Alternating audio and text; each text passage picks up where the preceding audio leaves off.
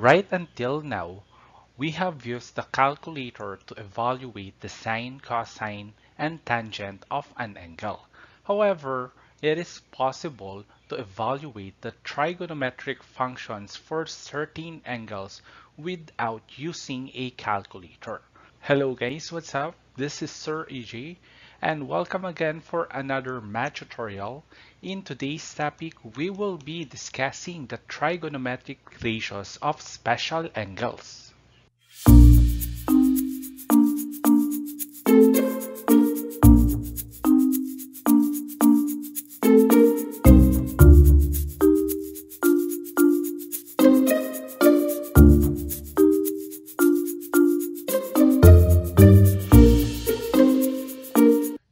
Are the following objectives we need to attain for today's topic. Letter A. Determine the properties of trigonometric ratios of special angles. Letter B. Compute for the numerical values of trigonometric expressions involving special angles. And letter C. Appreciate trigonometric ratios of special angles. So the reason that we can evaluate trigonometric ratios is because of the two special right triangle which we have discussed on our previous video.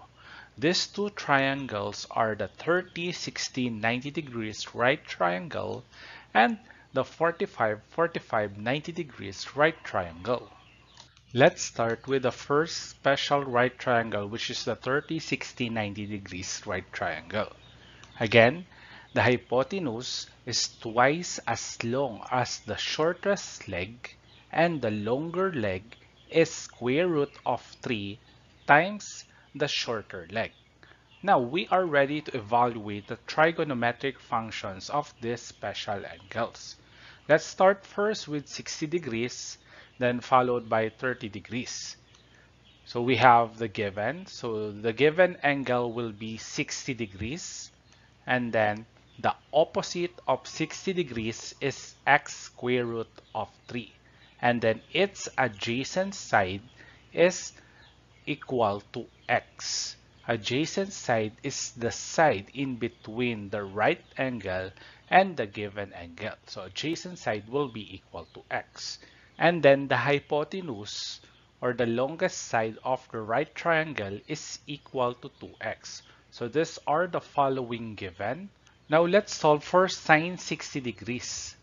So substitute the value of theta which is 60 degrees and then the opposite side is equal to x square root of 3 all over the hypotenuse which is equal to 2x. And then after that we will simplify x over 2x lowest term will be equal to 1 half. So this will be square root of 3 over 2. So sine 60 degrees is equal to square root of 3 over 2. And then after that, let's compute now for the value of cosine theta. So cosine is equal to adjacent side all over the hypotenuse. We will substitute the corresponding value. So we have cosine 60, the value of the given angle equals adjacent side is equal to x, hypotenuse is equal to 2x. And then simplifying this, x over 2x is just equal to 1 half. Meaning to say cosine 60 degrees is equal to 1 half. And then after that, let's solve for tangent theta. So tangent theta is equal to opposite over adjacent, substituting the corresponding value. So we have tan 60 is equal to the value of the opposite side is equal to x square root of 3 all over x.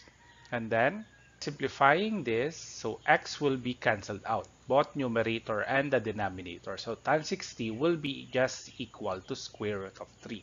Now let's solve for the next trigonometric function, which is the cosecant theta. So cosecant theta is just the reciprocal of sine theta. So hypotenuse over opposite. So substituting the corresponding value, so we have cosecant 60 degrees is equal to the value of hypotenuse is equal to 2x all over the value of opposite is equal to x square root of 3. Then 2x over x this will be just equal to 2 over 1. So the answer will be 2 over square root of 3. And then we will simplify this by rationalizing by multiplying this both square root of 3 over square root of 3.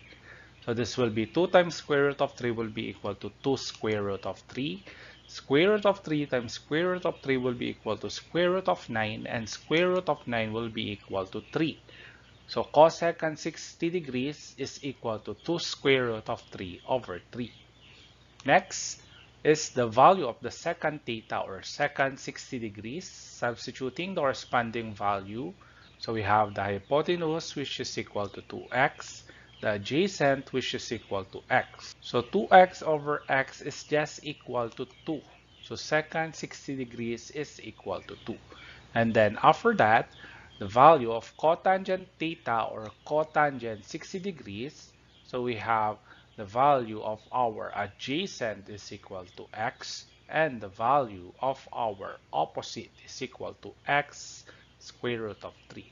So x over x will be cancelled out and the answer will be equal to 1 over square root of 3 then we need to rationalize this first. So we will multiply this by square root of 3 over square root of 3. So 1 times square root of 3 will be equal to square root of 3. Then square root of 3 times square root of 3 will be equal to square root of 9. And square root of 9 will be equal to 3. So cotangent 60 degrees is equal to square root of 3 over 3. Next, let's now evaluate 30 degrees. So using the given here, so theta will be equal to 30 degrees and then the adjacent side of the given angle is x square root of 3 and then the opposite side is x and the hypotenuse, the longest side of a right triangle is equal to 2x. Let's now solve for the value of sine 30 degrees. So we have sine 30 degrees opposite of 30 degrees is x and the hypotenuse is equal to 2x. So lowest term of x over 2x is just equal to 1 half. So sine 30 degrees is equal to 1 half. Next, let's compute for the value of cosine theta, which is adjacent over hypotenuse. So we have cosine 30 degrees. Adjacent is x square root of 3 and the hypotenuse is equal to 2x. Then lowest term. So we have x over 2x. This will be equal to 1 half. So cosine 30 will be equal to square root of 3 over 2. And then for the value of tan theta, so we have tan 30 degrees, opposite again is equal to x, and adjacent is equal to x square root of 3. And then after that, we will simplify. So this will be cancelled out. x over x will be just 1 over 1. So tan 30 degrees will be equal to 1 over square root of 3. We will multiply this by square root of 3 over square root of 3. So 1 times square root of 3 square root of 3. Square root of 3 times square root of 3 will be equal to square root of 9. And then square root of 9 will be equal to 3. So tan 30 degrees will be just equal to square root of 3 over 3. So another method to get the cosecant, cotangent, and secant is to get the reciprocal. So since we have compute for the value of sine, tangent, cosine, we can compute for its reciprocal. So for sine 30 degrees, we all know that the reciprocal of sine is cosecant. So we just need to uh, alternate the value of numerator and the denominator for the cosecant theta. So we have cosecant 30 degrees will be equal to 2 over 1. So cosecant 30 degrees will be equal to 2. And the next, the reciprocal of tan 30 degrees is cotangent 30 degrees. So we will just alternate the numerator and the denominator. So we have 3 square root of 3. And then multiply this by square root of 3 over square root of 3. And 3 times square root of 3 will be equal to 3 square root of 3 Square root of 3 times square root of 3 will be equal to square root of 9 and square root of 9 will be equal to 3. So cotangent 30 degrees will be equal to 3 square root of 3 over 3. So 3 over 3 will be cancelled out. So cotangent 30 degrees will just be equal to square root of 3.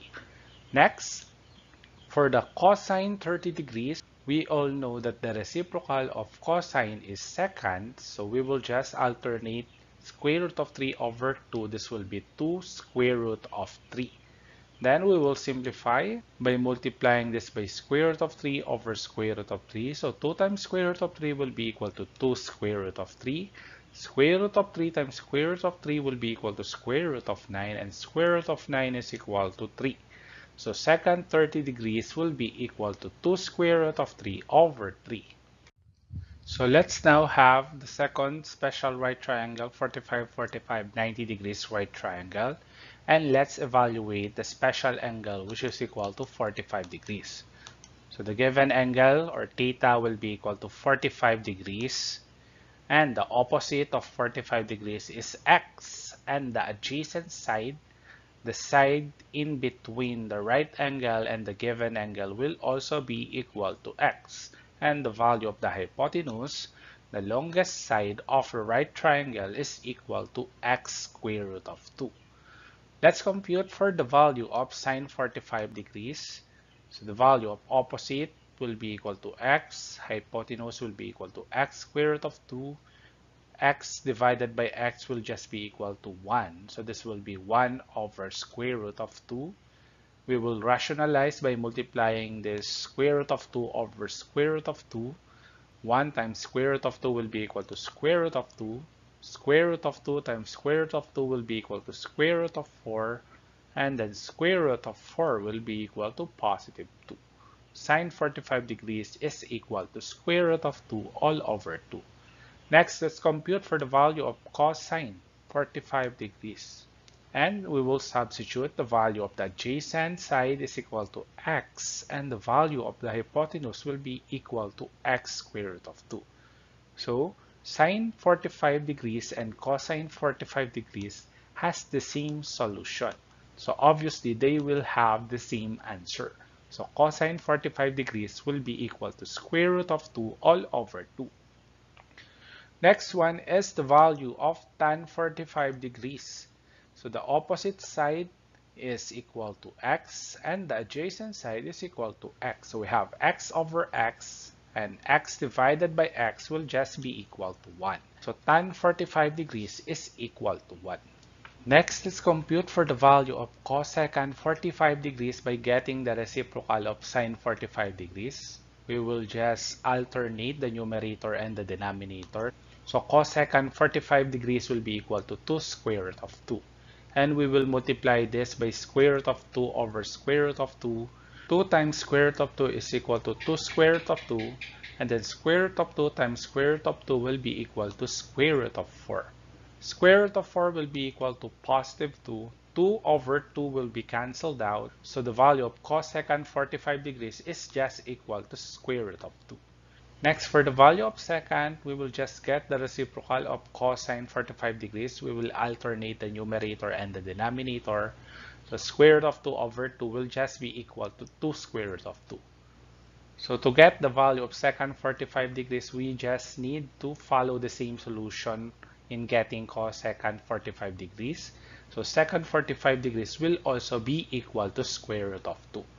And the next for the value of cotangent, get the reciprocal of tangent. So tangent 45 degrees is equal to 1.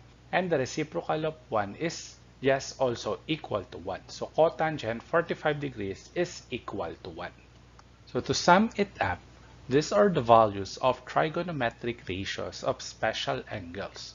And it tends to occur often in advanced trigonometry problems. And because of this, it is helpful to know them.